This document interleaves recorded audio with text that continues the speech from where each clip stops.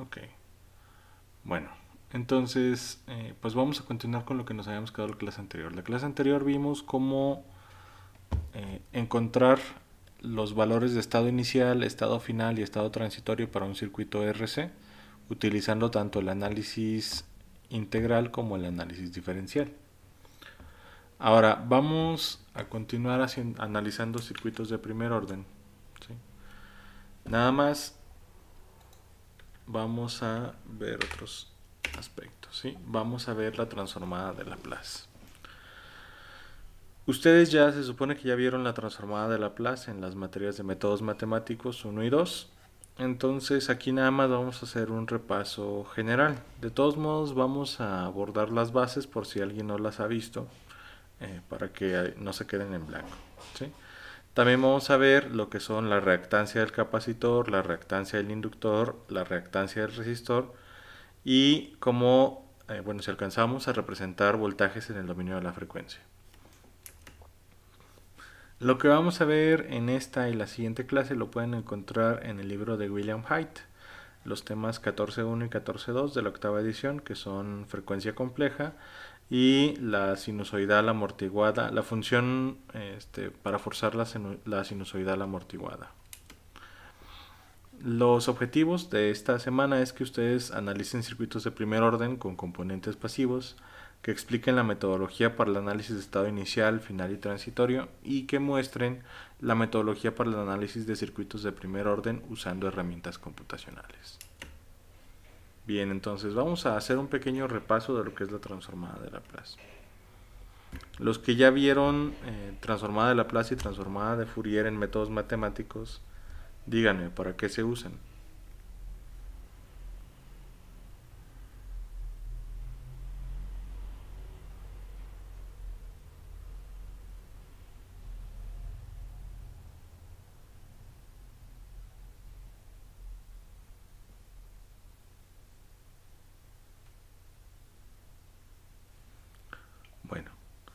Si nadie lo ha visto o nadie se acuerda, la transformada de Laplace eh, y la transformada de Fourier, pues la función que tienen es descomponer mediante series eh, señales complejas en señales más simples. Vamos a analizar nuestros dominios en otro, perdón, nuestros circuitos en otro dominio. En nuestro caso, la transformada de Laplace nos va a servir para pasar los circuitos del dominio del tiempo al dominio de la frecuencia. Ahora, ¿para qué hacemos esto? La clase anterior ya vimos el análisis diferencial y el análisis integral. Si se acuerdan, pues no es en realidad muy complejo, pero sí es muy tardado y muy laborioso. Entonces, para evitar hacer análisis eh, integral o diferencial, integro diferencial, lo que se suele hacer es pasar los dominios al, eh, perdón, los circuitos al dominio de la frecuencia. Esto convierte las ecuaciones integro diferenciales en simples ecuaciones algebraicas y eso lo vamos a ver un poquito más adelante. Bien, ahora, para empezar a analizar circuitos en el dominio de la frecuencia, pues tengo que entender cómo se representa la frecuencia compleja. La frecuencia compleja no es otra cosa más que la representación de una señal eh, con ciertas características. Por ejemplo, ustedes eh, en, en, la cátedra de esta materia se supone que deben estar analizando señales en señales periódicas, perdón, y también en métodos matemáticos se supone que ya analizaron señales periódicas. ¿Cuál es una señal periódica? La señal periódica pues es la que se repite eh, digamos, sin ninguna clase de atenuación ni alteración hasta el infinito. Por ejemplo, esa es una señal periódica, ¿sí? Esa señal pues se va a repetir hasta el infinito. Nosotros vamos a hacer un caso general donde vamos a analizar señales que puedan ser periódicas, que puedan ser oscilantes, que puedan ser no oscilantes, que puedan tener amortiguación o que puedan no tener amortiguación. Entonces necesito yo una forma de representar todas estas señales y para representar todas esas señales se utiliza una ecuación.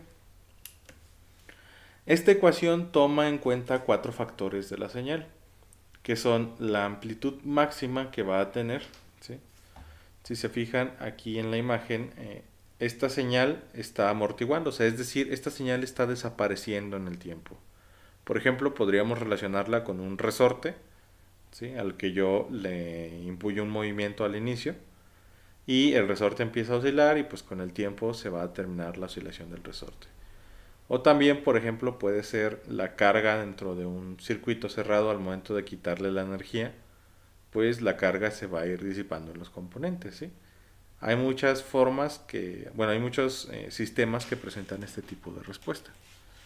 Entonces, de este tipo de señales que son aperiódicas, es decir, se acaban, terminan, no se repiten hasta el infinito, sino que terminan en un tiempo dado, para este tipo de señales me interesan cuatro factores. Primero, el voltaje máximo o la amplitud máxima, que es BM, es decir, cuánto es el máximo valor que tiene mi señal.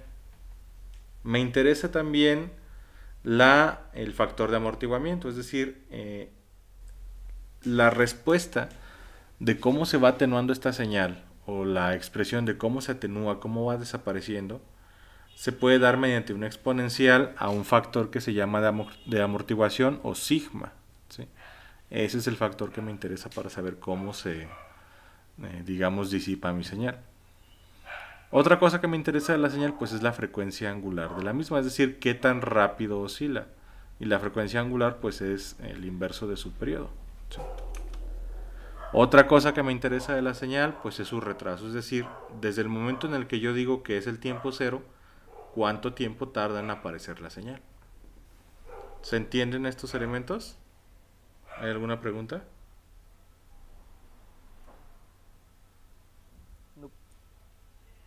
Bien. Entonces, pues continuamos. Para representar una señal, voy a utilizar una ecuación. Y esta ecuación es la que se conoce como la ecuación de la frecuencia compleja. Si se fijan en esta ecuación están los cuatro elementos que definí hace rato, que es voltaje máximo, el factor de amortiguación, la frecuencia angular o la frecuencia de oscilación de la señal y el retraso de la misma. Entonces, con una sola ecuación yo puedo representar una señal así de compleja. Esta ecuación va a tener cuatro elementos.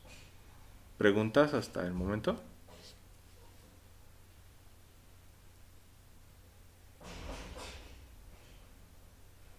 Ok, seguimos entonces.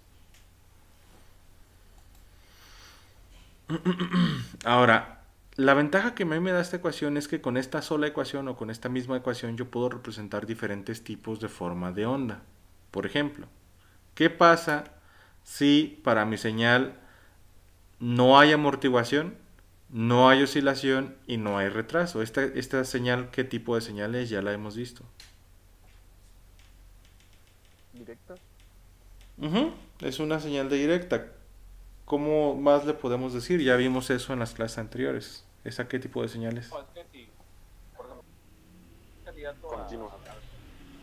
Sí, pero ¿qué tipo de señales? Ya lo vimos. Era una señal oscilante. ¿Cuál señal oscilante?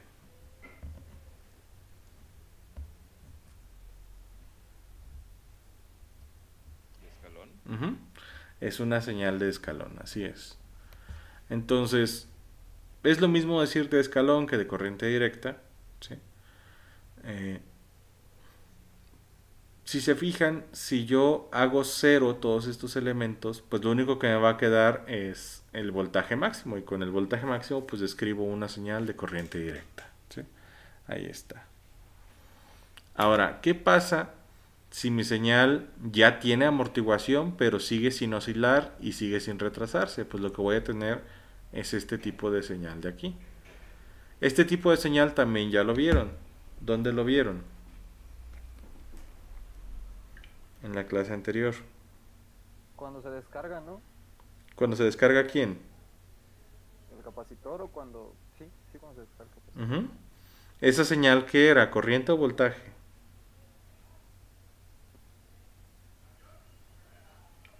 La corriente, porque el voltaje es el que sube gradualmente. Muy bien. La que va bajando. Bien, entonces esa ecuación de corriente que ustedes tenían, bueno, esa curva de corriente que ustedes tenían, se podía haber representado con esta ecuación, ¿sí? Que es un nivel máximo que era la corriente que tenía inicialmente mi capacitor, que eran 2 amperes, y pudimos haber encontrado una expresión eh, exponencial natural con un factor de amortiguación que podía haber descrito qué tan rápido se descargaba el capacitor. Ahí está otro tipo de señal que se puede representar con la misma ecuación. ¿Qué otro tipo de señal? Si yo no tengo amortiguación, pero sí tengo eh, frecuencia o velocidad de oscilación y tengo un retraso, pues voy a tener una señal periódica. ¿Qué tipo de señal es esta? ¿Es una señal qué? ¿Seno o coseno?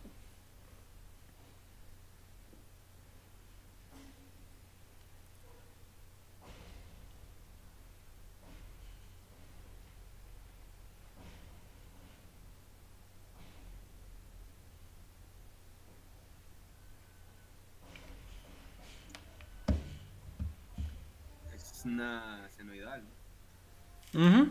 Pues puede ser la que yo quiera, este, puede ser una senoidal. Esta de aquí es una cosenoidal. Pero yo puedo representar una cosenoidal como eh, un seno retrasado o viceversa. Puedo representar un seno como un coseno adelantado o atrasado.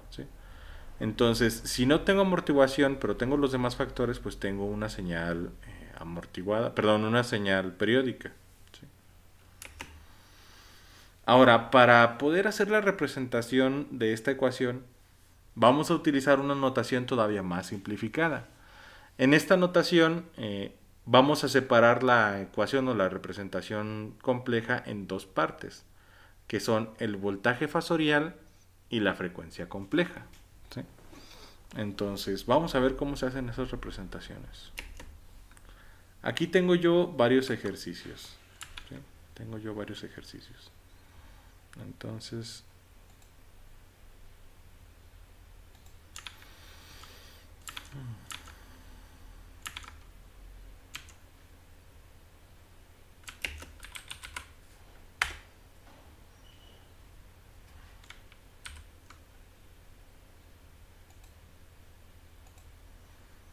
Bien.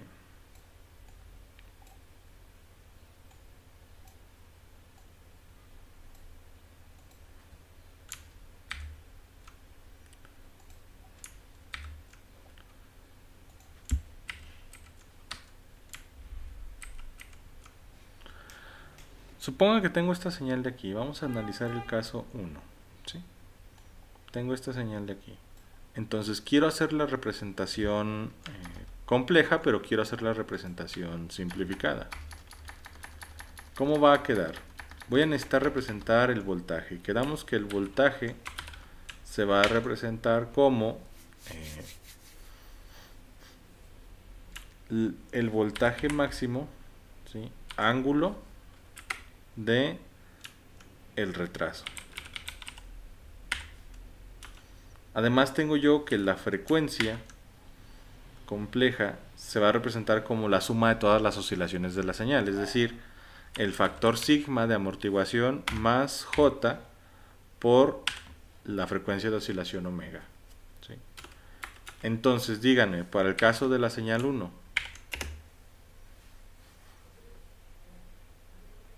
¿Cuánto es el voltaje eh, fasorial? ¿Cómo queda su voltaje fasorial? ¿Cómo queda su representación? ¿Qué ángulo de qué?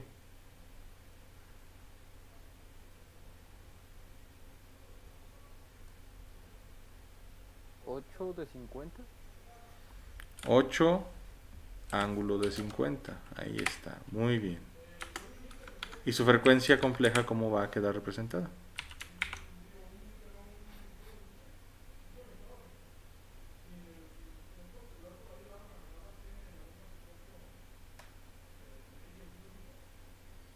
¿Cuánto vale sigma?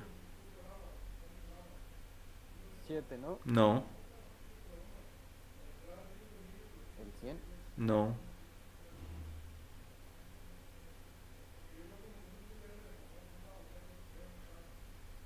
¿8E menos 7? No.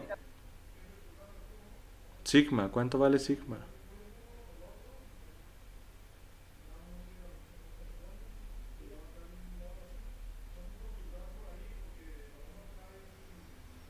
Pues sigma es el factor al que está la exponencial, es menos 7 más j y cuánto vale omega. 100. 100. Bien. Ahí está. Esa es la representación de la señal 1 en su forma simplificada. ¿Se entiende?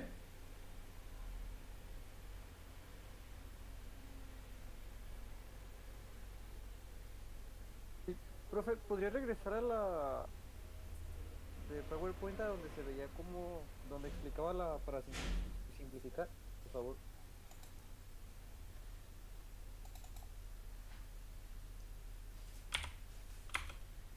Ahí. Sí, lo puedo, deje de anotarlo, por favor. gracias. Adelante. Anótenlo todos porque lo van a necesitar ahorita.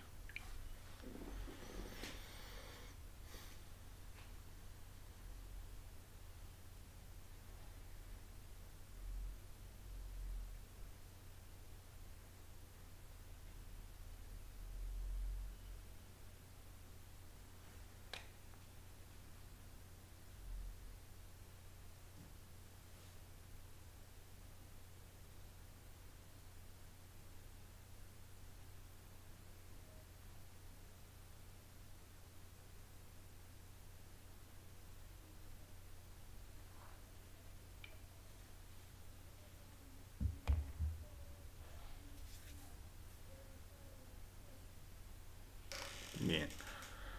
¿Alguien falta todavía de anotar esto? Ok, seguimos entonces.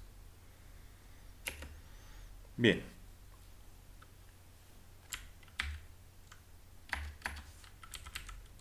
Entonces, para el punto 2, ¿cómo va a quedar el punto 2?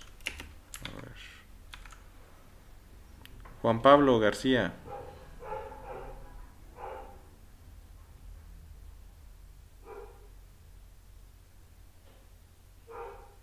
Gabriel de Mesa.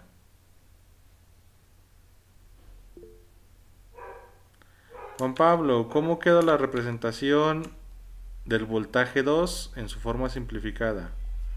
¿Cómo queda el voltaje? ¿Y cómo queda la frecuencia?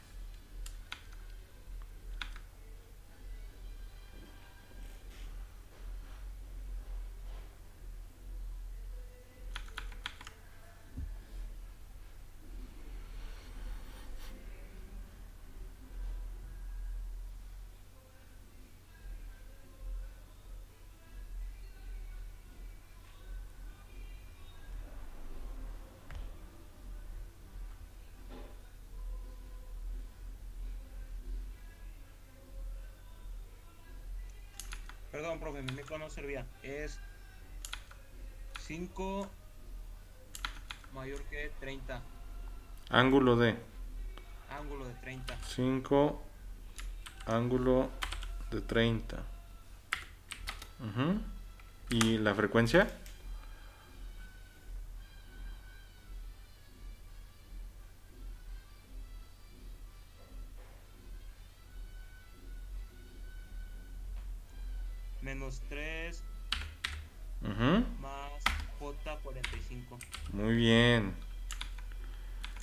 Excelente, Juan Pablo. A ver.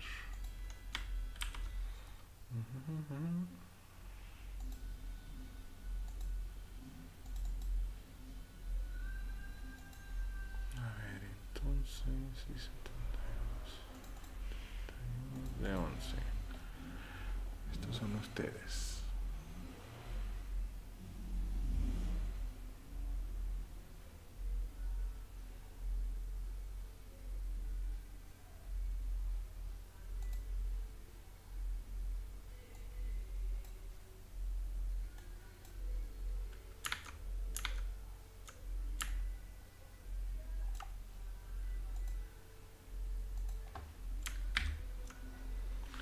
Juan Pablo.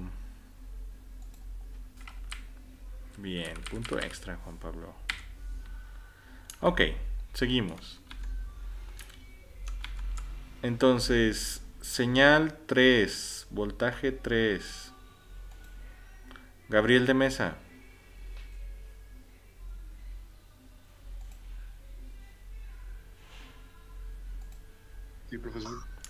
¿Cómo queda la representación del voltaje 3, la representación simplificada? Este sería Voltaje primero, vamos. 5, no, 10 ángulo de 10. Ujú. ¿Y la frecuencia? Sería 1 más... ¿No? No. ¿Dónde hay uno de sigma ahí?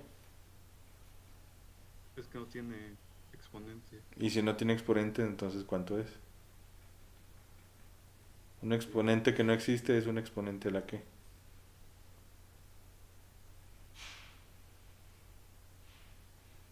Pues a la 1, ¿no? No. Si no está escrito el exponente. No sé, entonces. Va. Bueno, de todos modos, muchas gracias, compañero. Ernesto Rafael, Dígame, profe. termine el ejercicio.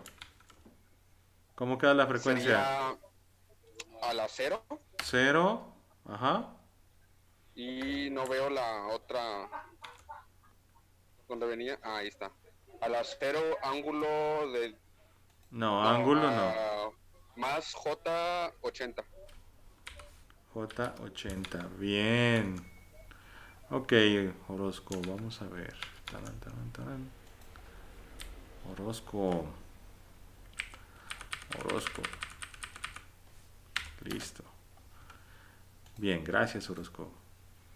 Carolina.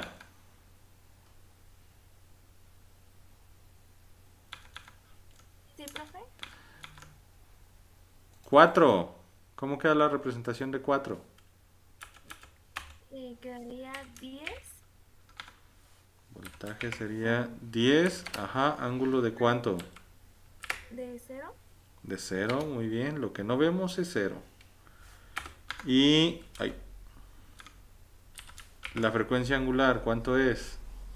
Menos 9 Ajá. eh, más J, ujú. 0. Bien. Bien, Carolina. Tarán.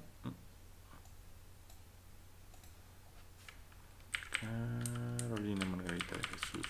Bien. Son puros del equipo 2. Ok, seguimos. Marcela Guadalupe. Sí, profe. 5. Mm, Sería 7 ángulo de 0. 7, ángulo de 0. Ajá. Del otro sería 0 más j de 0. Porque no tiene ningún otro. O sea, la frecuencia angular pues es no existe, es 0 más J0. Muy bien. Entonces, por ejemplo, 5. Ya, muchas gracias, compañera. Déjenme ponerle su participación. Marcela Guadalupe.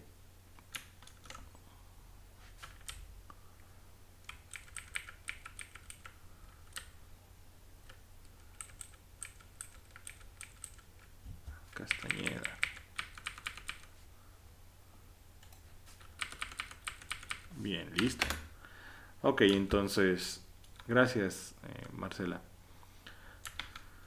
Pregunta para todos. ¿La 5 qué es? ¿Es un voltaje de qué? De escalera o continuo, ¿no? Sería un voltaje de escalera continuo, así es. ¿Quién respondió? Ledesma García. Ledesma, bien Ledesma. Entonces, punto extra Ledesma.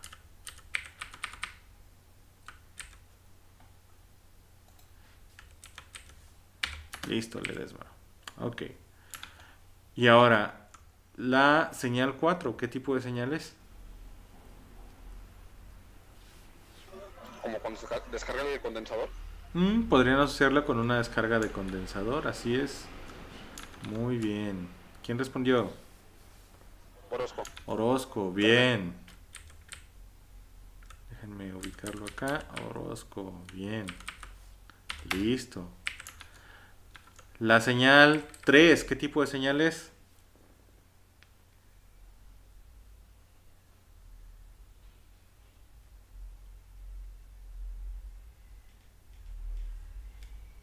Pues la contraria, contraria lo de abajo, ¿no? ¿No es la que es la senoidal? Es una señal periódica. Entonces, Ledesma, ¿verdad? Bien. Ledesma. Ok. Listo, ahí está. Entonces, ¿se entiende esto de las representaciones? ¿Hay alguna pregunta hasta el momento? Una, profe. Ujú. La senoidal, por ejemplo, ahorita la que acaba de decir de la 3, esa es porque es, es como periódica, ¿no? Bueno, no, es que es que va a ser como infinita, ¿no? Que va a tener lo mismo de todo, que no se va a acabar ni va a crecer, Ujú. ¿sí, no? Esa es una señal periódica. O sea, las señales periódicas son las que se repiten hasta el infinito. Ok, gracias. Por nada. ¿Alguna otra pregunta? Bien, continuamos entonces. Ahora, vamos a analizar, vamos a repasar un poquito de divisores de tensión. Ustedes ya vieron divisores de tensión en circuitos eléctricos, ¿sí? Entonces, nada más vamos a hacer un repaso aquí.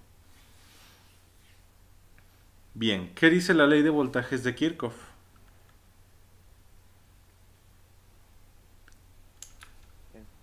Todo lo que entra tiene que salir. No, esa sería en todo caso la ley de corrientes de Kirchhoff.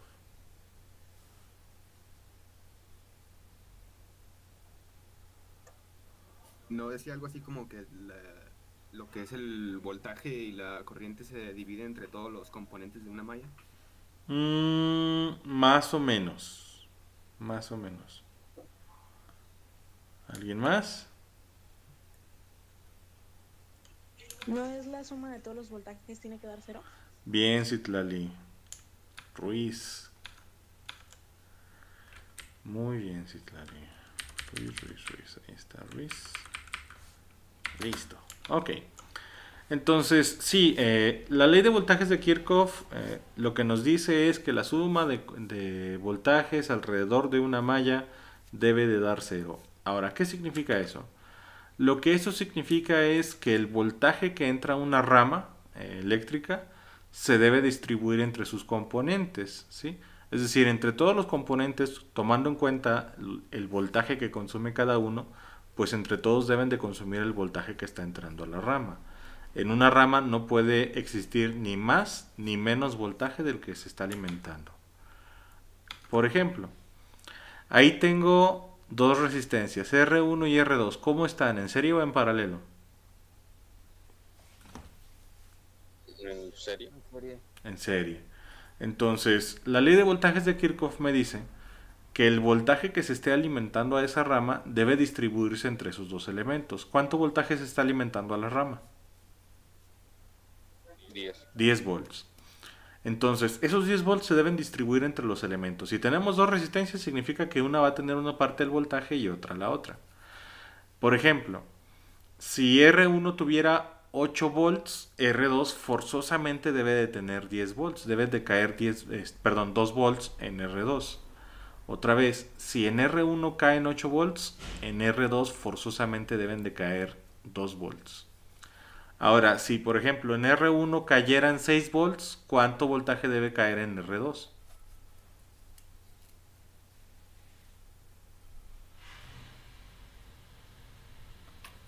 Pues los cuatro restantes. Así es, los cuatro restantes. O sea, esos 10 volts se deben de repartir entre los dos elementos. No puede haber más de 10 volts ni menos de 10 volts entre esos dos elementos. ¿sí?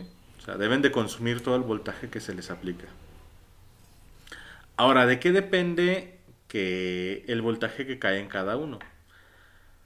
Igual, ya ahora sí analizando divisores de tensión. Si esas dos resistencias están en serie, ¿cómo es su corriente? Igual es la misma. Ujú. Si las dos resistencias están en, en serie, la corriente en cada resistencia es la misma. ¿sí? Las dos comparten la misma corriente.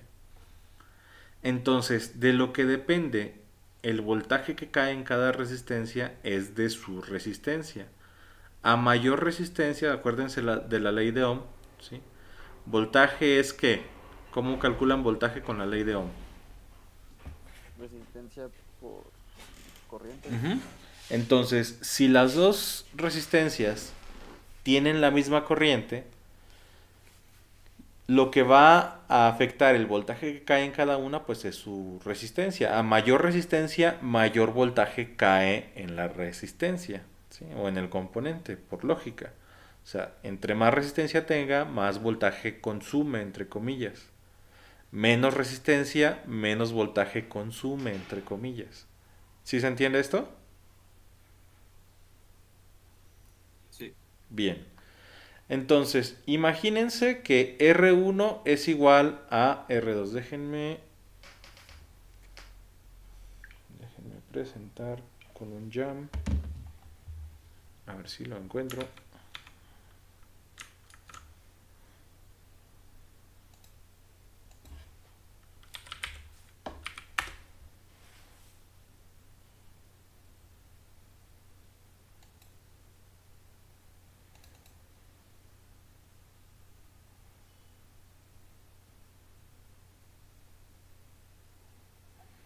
Bien, aquí estamos. Ese es el mismo circuito. Ok, ahora vamos a poner aquí un caso. Vamos a decir que R1 es igual a R2. ¿sí? R1 es igual a R2. Si R1 es igual a R2, ¿cuánto voltaje cae en R1 y cuánto voltaje cae en R2? 5 y 5. Así es. Entonces yo aparte estoy agarrando aquí un voltaje de salida y ese voltaje de salida con, en paralelo con quién está, díganme.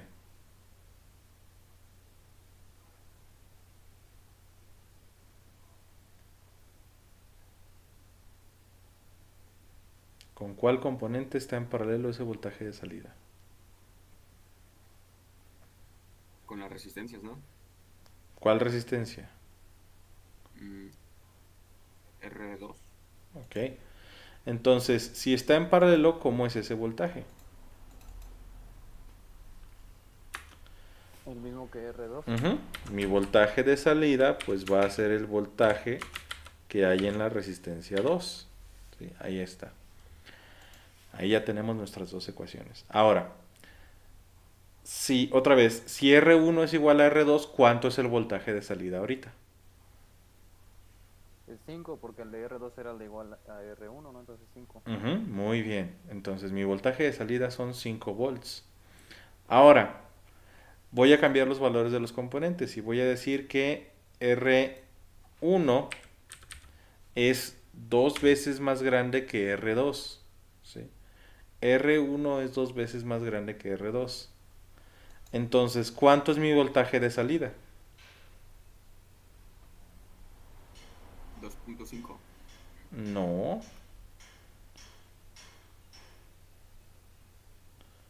Si R1 es dos veces más grande que R2, o sea, si R1 es igual a 2R2, aquí son 2R2 y una R2, pues son 3R2. Entonces, ¿cuánto voltaje veo de salida?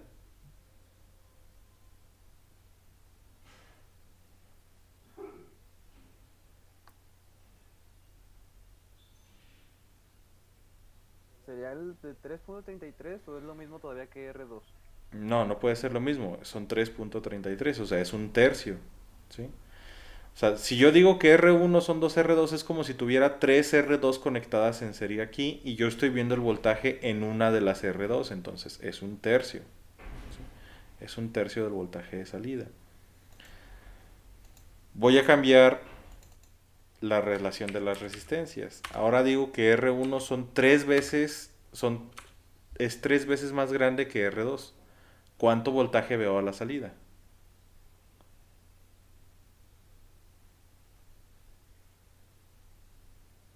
Un cuarto, ¿no? Punto 25.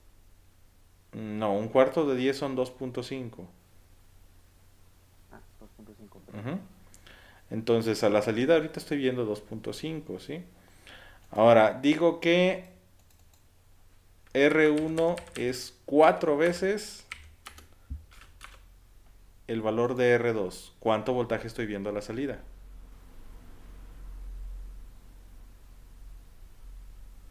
Dos. Ujú, Así es, un quinto del voltaje.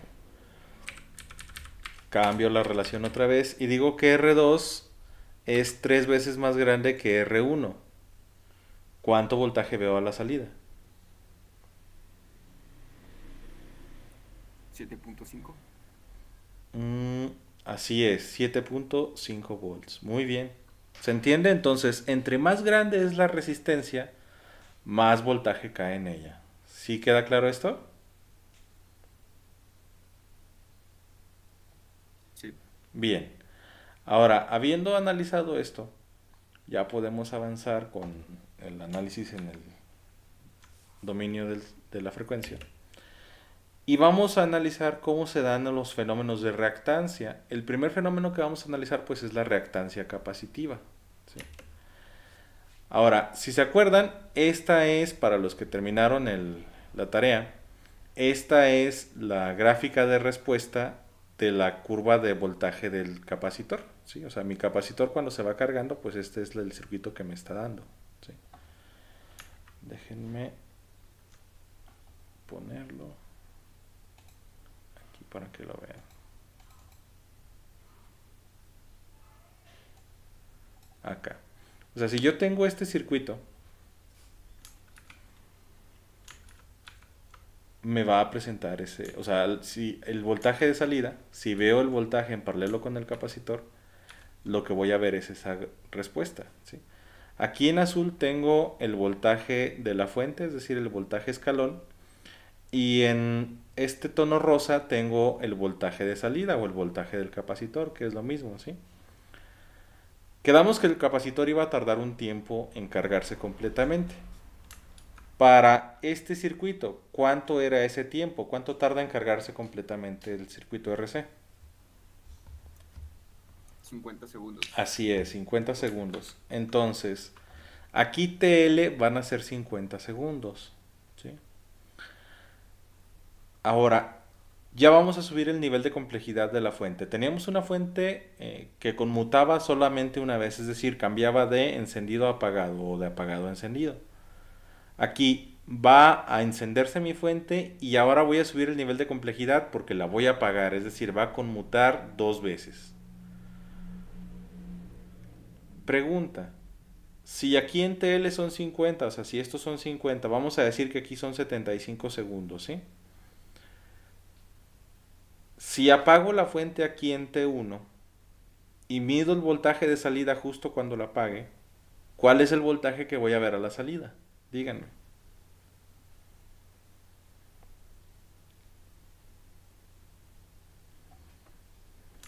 Pues comenzaría a disminuir, ¿no? Justo en el instante donde la apago, o sea, justo en ese instante, ¿cuánto es el voltaje de salida? Un 50, o sea, si en cuanto la apagó, le mide, son los 50 que... No, 50 es el tiempo. ¿O Los cuánto 10, era? ¿no? Te quedan los 10. Así es. Pues bajar. Si analizo el voltaje de salida, pues voy a ver el voltaje al que se cargó el capacitor. ¿Y cuánto es ese voltaje? 10. 10, muy bien. Entonces, voy a ver todo el voltaje en el capacitor. Entonces, pregunta, otra vez, divisor de tensión. Si el capacitor ahorita tiene 10 volts, ¿cuánto voltaje debe tener la resistencia? 5. No, Cero. cero. O sea, estoy alimentando el la rama con 10 volts. Entonces, si el capacitor tiene 10 volts, ¿cuántos volts tiene la resistencia? Sí, ya, ya vi el 0, perdón, porque Ujú. no había entendido bien. 0 volts, entonces la resistencia no tiene voltaje.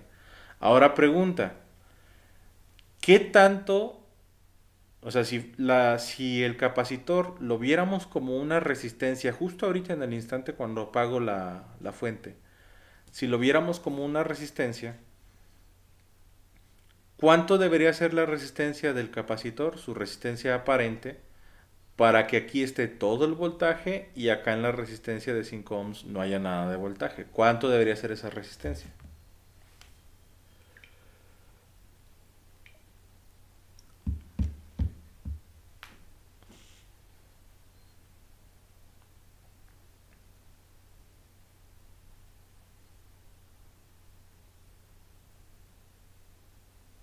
Otra. Debería ser muy pequeña, ¿no? Para que pues, deje pasar. Ah, no, pues decía. Debería de ser más grande para que consuma voltaje, ¿no? ¿Y qué tanto más grande? Ah.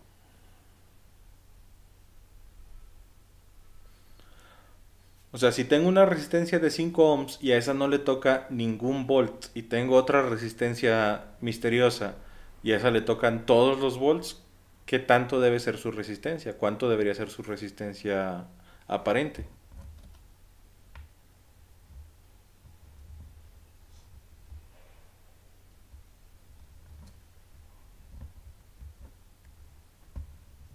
Pues infinita, ¿no? Algo así.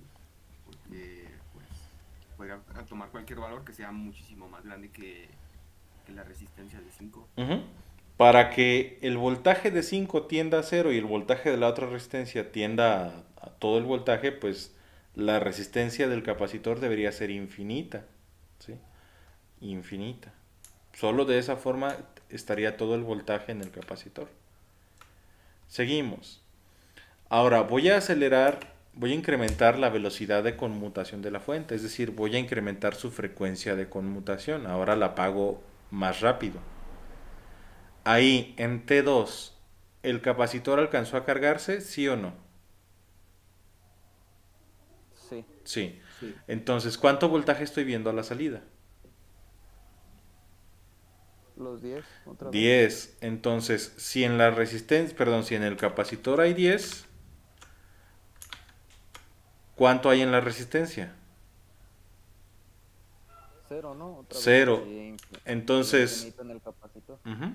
Ahí todavía la resistencia del capacitor parece ser infinita. Incremento la velocidad de conmutación, es decir, incremento la frecuencia. Ahora, ¿el capacitor ahí en T3 alcanzó a cargarse completamente? No. No. Vamos a decir que ahí se cargó hasta 9 volts mi capacitor. ¿sí? Vamos a decir que ahí se cargó hasta 9 volts. Si el capacitor ahorita tiene 9 volts, ¿dónde está el otro volt que falta? En la resistencia. En la resistencia. Entonces ahora díganme, ¿cuál es la resistencia aparente del capacitor? Y eso lo pueden hacer con una simple regla de 3 o con este, división proporcional.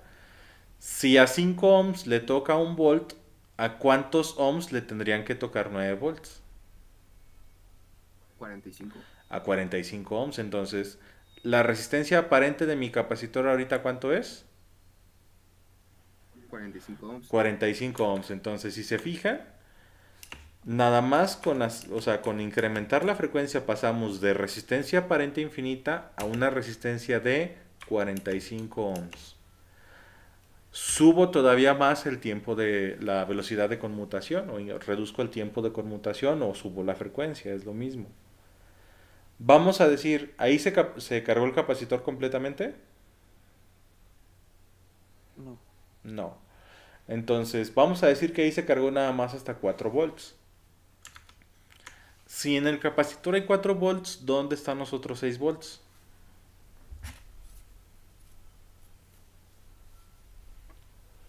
En la resistencia de 5 ohms. Entonces, ¿cuál es la resistencia aparente del capacitor? Si a 5 ohms le tocan 6 volts, ¿a cuántos ohms to- le tocan 4 volts?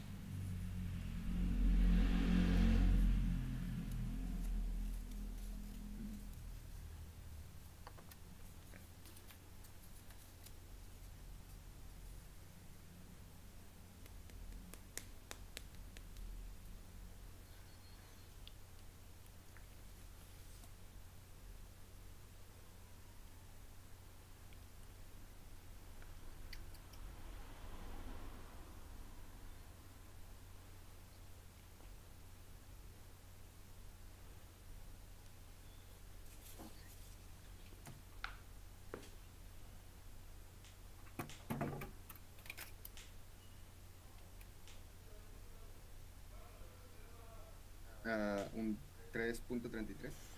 3.33 ohms. Entonces, si se fijan, el valor de la resistencia aparente del capacitor pasó de infinito a este, 45 ohms a 3.33 ohms. Por lo tanto, yo voy a decir que la reactancia capacitiva, o la reactancia del capacitor, que reactancia le llamamos a la resistencia aparente a cierta frecuencia, yo voy a decir que la reactancia del capacitor es inversamente proporcional a la frecuencia, es decir, a más frecuencia, menos resistencia aparente. E inversamente proporcional a su capacitancia. ¿sí? ¿Por qué? Porque entre más capacitancia tenga, más va a tardar en cargarse. ¿Se entiende esto?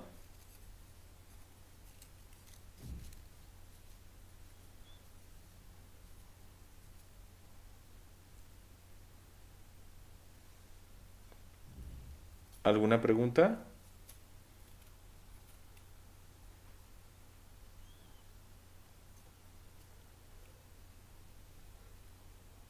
Bien, entonces vamos a continuar. Ahora vamos a ver la reactancia del inductor. Habíamos dicho que el inductor, eh, su comportamiento es complementario al del capacitor. En el capacitor, el voltaje se incrementa gradualmente y la corriente se incrementa instantáneamente. Entonces, en el inductor, ¿cómo se va a incrementar el voltaje?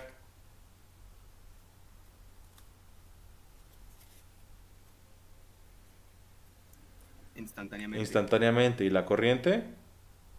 Gradual. Gradualmente. Muy bien.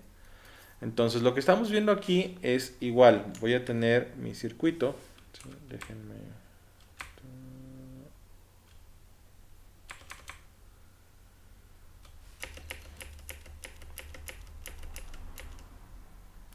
Voy a tener mi circuito RL, ¿sí? El que está ahí en la figura B. ¿Qué va a pasar? Eh, enciendo la fuente y el voltaje de la bobina va a subir hasta el nivel de la fuente, es decir, la bobina se va a cargar instantáneamente. Ahora, si dejo la fuente quieta, es decir, si no la apago ni la enciendo ni varío los niveles de voltaje, lo que va a pasar es que el voltaje que se genera ah, instantáneamente en, el núcleo de la bobina va a desaparecer, se va a ir disipando. Con el tiempo va a irse disipando ese voltaje hasta llegar a cero, es decir, la bobina se va a descargar. Entonces, vamos a suponer que yo tengo un circuito RL y su tau también son 50 segundos, ¿sí? que es TL ahí. Es decir, es en, el, en el circuito RL la bobina tarda 50 segundos en descargarse. Ahora, pregunta. Ahí en la gráfica, yo hago la conmutación de la fuente en T1. Si hago la conmutación, si se fijan, la salida está en paralelo con la bobina. Si hago la conmutación en T1, ¿cuánto voltaje veo a la salida?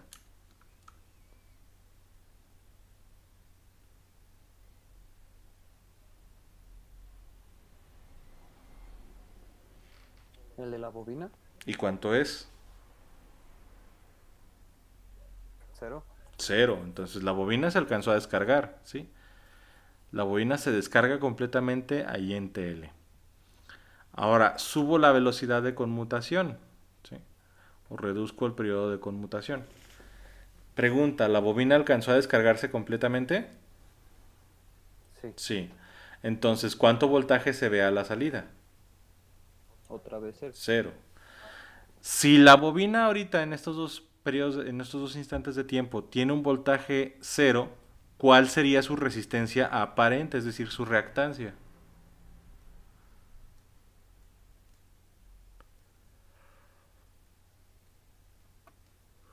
Infinita, ¿no?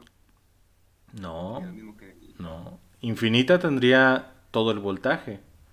Ah. Tendría que tender a cero, ¿no? Porque entre menos resistencia, menos voltaje. Así es, entre menos resistencia, menos voltaje. Entonces, si el voltaje es cero, ¿cuánto es la resistencia? Cero. Cero, muy bien.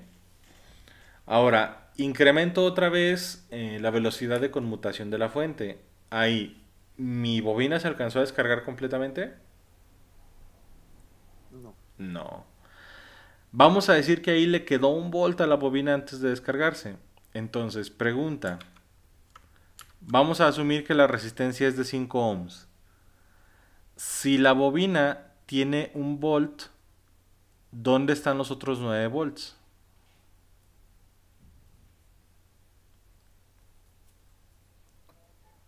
En la resistencia. Entonces, si la resistencia es de 5 ohms y tiene 9 volts, ¿Cuánto es la resistencia aparente de la bobina en este momento?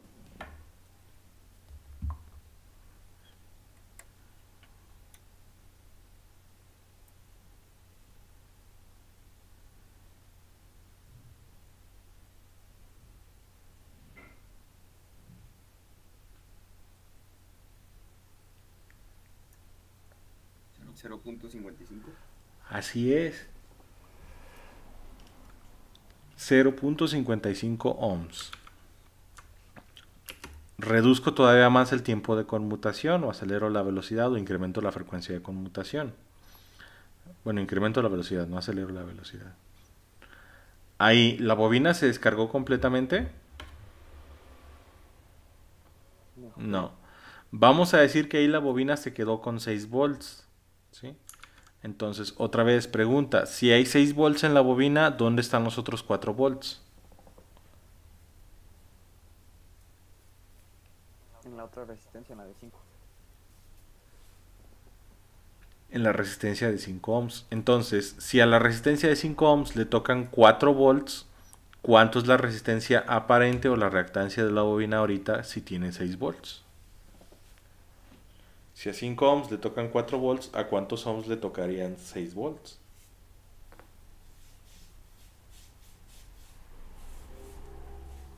$3.33 ohms. Mm, mm. Más ohms son más volts. La resistencia tiene 4 y la bobina tiene 6. Entonces la bobina tiene que ser más grande que la resistencia. 7.5. 7.5 volts, perdón, ohms. ¿sí? Entonces, si se fijan, para las bobinas o para los inductores, conforme incremento la frecuencia de oscilación del voltaje, se incrementa la resistencia aparente. Entonces, vamos a decir que la reactancia de un inductor es directamente proporcional a su eh, inductancia y directamente proporcional a la frecuencia de oscilación. Ahí está. Entonces, de ahí vienen las presunciones que ya hemos hecho o que les va a tocar hacer más adelante, de que la reactancia del capacitor es inversamente proporcional a la capacitancia y a la frecuencia, y la reactancia del inductor pues es directamente proporcional a la frecuencia y a la inductancia. Resumido, conforme aumenta la frecuencia, el capacitor reduce su resistencia. Conforme aumenta la frecuencia, la bobina aumenta su resistencia. ¿Queda claro hasta aquí? ¿Podría repetir eso, profe, para anotarlo, por favor? Sí. Conforme se aumenta, conforme se incrementa la frecuencia que del voltaje que recibe un inductor, conforme se incrementa la frecuencia del voltaje que recibe un inductor, se incrementa su resistencia aparente se incrementa su resistencia aparente, ya entre comillas pues le pueden poner reactancia inductiva. Conforme se incrementa la frecuencia del voltaje que recibe un inductor, se incrementa su resistencia aparente, entre paréntesis, reactancia inductiva. Y conforme se incrementa la frecuencia del voltaje que recibe un capacitor, se reduce su resistencia, conforme se incrementa la frecuencia del voltaje que recibe un capacitor, se reduce su resistencia.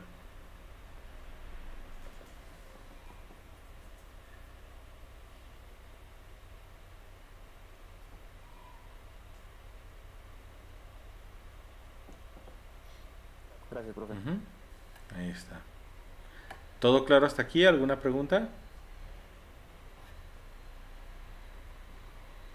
Bien.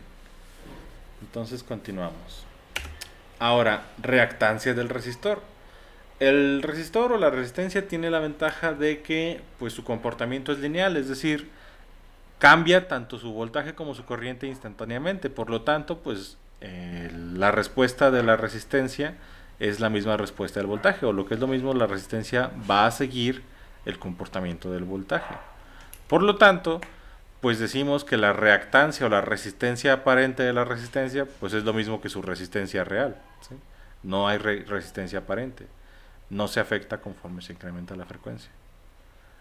¿Queda claro?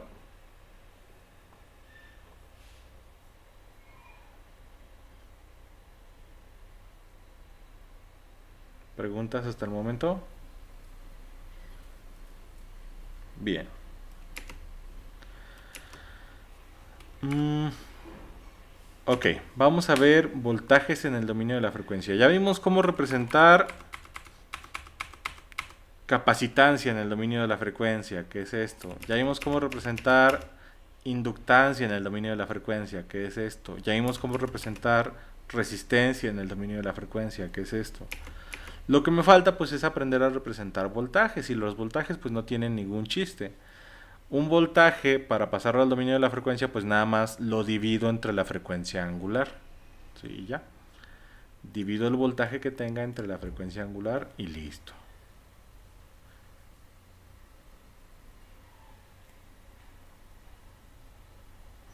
¿Por qué sucede esto? Porque entre más rápido oscila, es decir, entre más eh, rápida es la frecuencia de oscilación de un voltaje, menos voltaje parece llegar a ciertos componentes. ¿sí? Ahí está.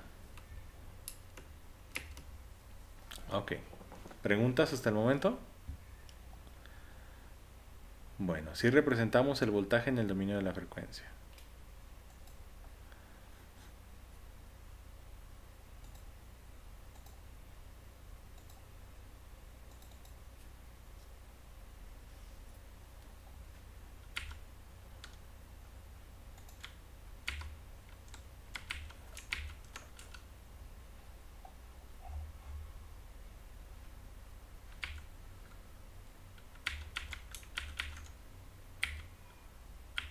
Bien.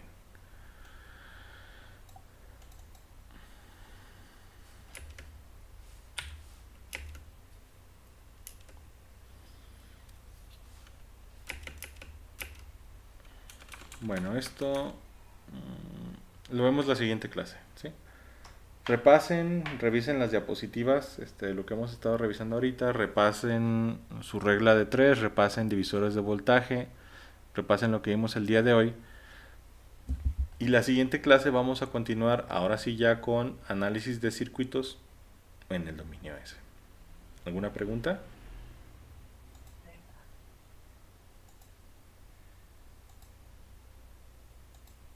Bien, entonces si no hay preguntas, ajá. Tengo una. El